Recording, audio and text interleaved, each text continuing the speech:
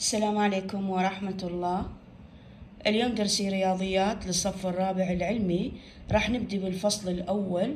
آه، أولا المنطق الرياضي. المنطق الرياضي اللي هي العبارة المنطقية. حنبدي إن شاء الله بمنهج الرابع ال- العلمي.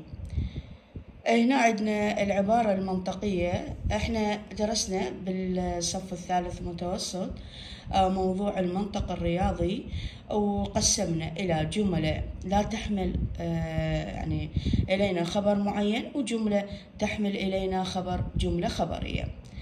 فهذه العبارات هذه نفي العبارة نفي بي هاني وهنا بي فالنفي البي فولس هنا ترو وترو فولس زين.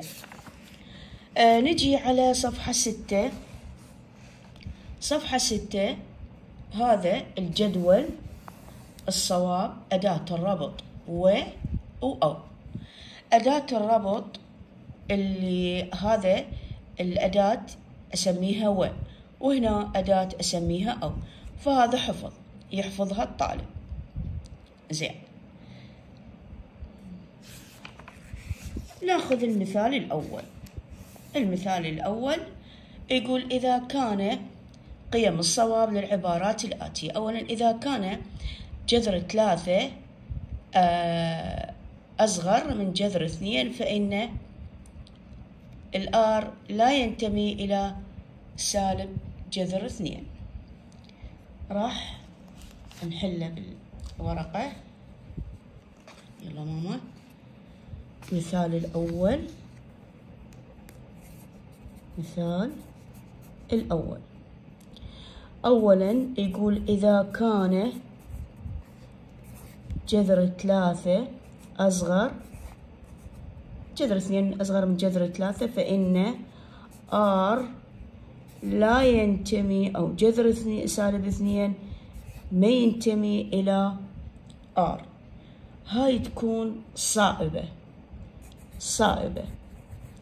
ليش؟ لأن المقدمة صائبة والتالية صائبة. إيش راح تصير؟ صائبة بصائبة تصير صائبة.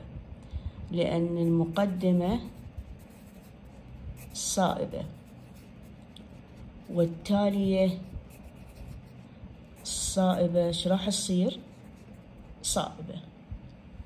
هاي أولا. زين.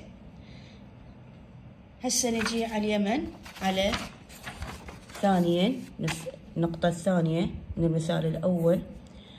يقول إذا كان آه، جذر إذا كان نقول سبعة زائد خمسة يساوي اثناعش. فإن ستة زائد اثنين يساوي سبعة. زين خلينا نشوفها. يقول لك إذا كان سبعة زائد خمسة يساوي اثناعش. وستة زائد اثنين سبعة. زين هاي شو يصير؟ هاي أسميها عبارة خاطئة. خاطئة. ليش؟ خاطئة. ليش خاطئة؟ أقول له لأن المقدمة صائبة لأن المقدمة صائبة. أقول له خاطئة لأن المقدمة صائبة والتالية خاطئ لأن المقدمة صائبة والتالية خاطئة. إذا إيش راح تصير؟ خاطئة. زين. هسه ثالثا. إذا كان إذا كان همات نقول سبعة زائد خمسة يساوي لنا 11 فإن ستة زائد اثنين يساوي ثمانية. زين. إحنا زين. إحنا بالنقطة الثانية يقول لك إذا كان سبعة زائد خمسة اثناعش أو أو سبعة أو ستة زائد اثنين سبعة قلنا خاطئة لأن المقدمة صائبة والتالي خاطئ هسه هذا شي يقول إذا كان سبعة زائد خمسة 11 فإن ستة زائد اثنين ثمانية. شو أقول عليه؟ أقول عليه صائبة. ليش؟ لأن المقدمة خاطئة. هذه المقدمة خاطئة والتالية صائبة. والتالية صائبة. تمام؟ تمام.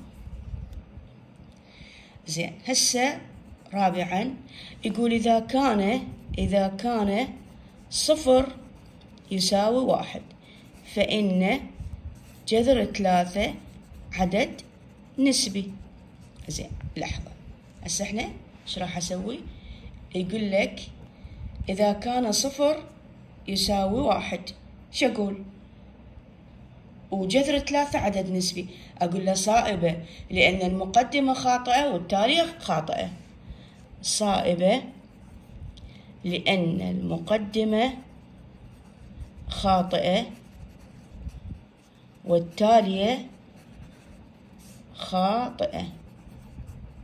زين. هذا حل المثال الأول. زين. هسه هسه لهنا طبعا حتى ما يصير الفيديو طويل لهنا وتخلص محاضرتنا وإن شاء الله نكمل وياكم.